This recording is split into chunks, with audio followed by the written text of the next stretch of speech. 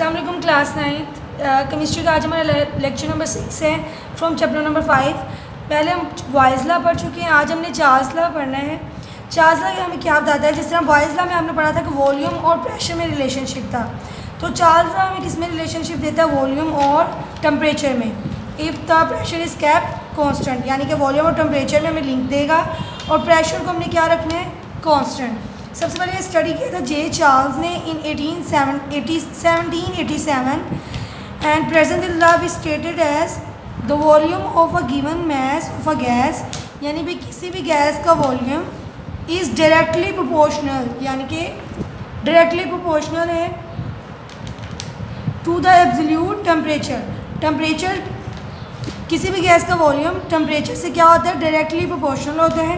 If the pressure is kept constant directly proportional का मतलब क्या होता है कि अगर टेम्परेचर इंक्रीज़ करेंगे तो वॉल्यूम भी इंक्रीज़ हो जाएगा। अगर आप टेम्परेचर डिक्रीज़ करेंगे तो वॉल्यूम भी डिक्रीज़ हो जाएगा। यानी कि एक चीज़ के बढ़ाने से दूसरी चीज़ भी उसी रिस्पेक्टिव से बढ़े या कम हो तो उसे हम क्या कहते हैं? डायरेक्टली प्रोपोर्शनल मैथमेटिकली ये किस तरह रिप्रेजेंट किया जाता है? Volume directly proportional to temperature ये प्रोपोर्शनल का साइन है।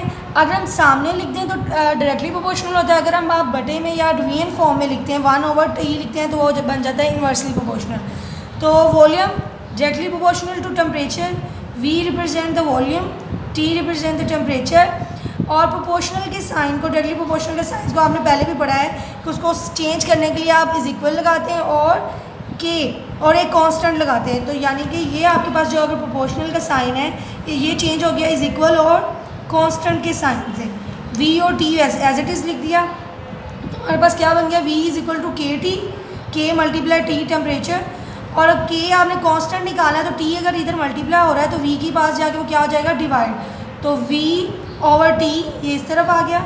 इज़ इक्वल टू के के क्या रिप्रेजेंट कर रहा है? K is proportionality constant if temperature increase अगर आप टेम्परेचर को बढ़ाएँगे volume is also increase volume भी बढ़ जाएगा।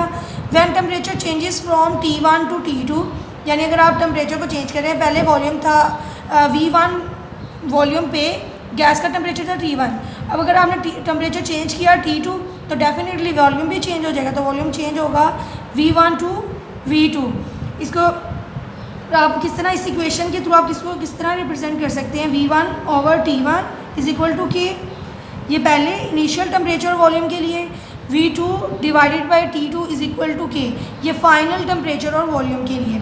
आप देख रहे हैं कि यहाँ पे दोनों के दोनों कांस्टेंट क्या है? सेम है। ये कांस्टेंट है और ये क्या है? वेरिएबल्स जो चेंज हो रहे हैं उन्हें वेरिएबल्स कहते हैं। तो अगर कांस्टेंट सेम हो तो वेरिएबल्स दोनों के एक दूसरे के आ, आ जाते हैं इक्वल आ जाते हैं। As both values as both values है same then variables equal to each other तो हम कैसे लिख सकते हैं? V one divided by T one is equal to V two divided by T two ये हमारी फाइनल इक्वेशन है. Thank you students